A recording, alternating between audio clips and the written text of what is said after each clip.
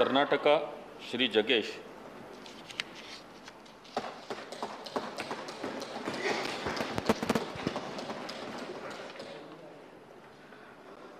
ಜಗ್ಗೇಶ್ ಎಂಬ ಹೆಸರಿನವಾದ ನಾನು ರಾಜ್ಯಸಭೆಯ ಸದಸ್ಯನಾಗಿ, ಚುನಾಯಿತನಾದವನಾಗಿ ಕಾನೂನು ಮೂಲಕ ಸ್ಥಾಪಿತವಾದ ಭಾರತದ ಸಂವಿಧಾನಕ್ಕೆ ಸತ್ಯ, ಶ್ರದ್ಧೆಯನ್ನು ಮತ್ತು ನಿಷ್ಠೆಯನ್ನು ಹೊಂದಿರುತ್ತೇನೆಂದು, ಭಾರತದ ಸಾರ್ವಭೌಮತ್ವವನ್ನು ಮತ್ತು ಅಖಂಡತೆಯನ್ನು ಎತ್ತಿ ಹಿಡಿಯುತ್ತೇನೆಂದು ಮತ್ತು ನಾನು ಕೈಗೊಳ್ಳಲಿರುವ ಕರ್ತವ್ಯವನ್ನು ಶ್ರದ್ಧಾಪೂರ್ವಕವಾಗಿ ನಿರ್ವಹಿಸುತ್ತೇನೆಂದು ದೇವರ ಹೆಸರಲ್ಲಿ ಪ್ರಮಾಣ ಮಾಡುತ್ತೇನೆ.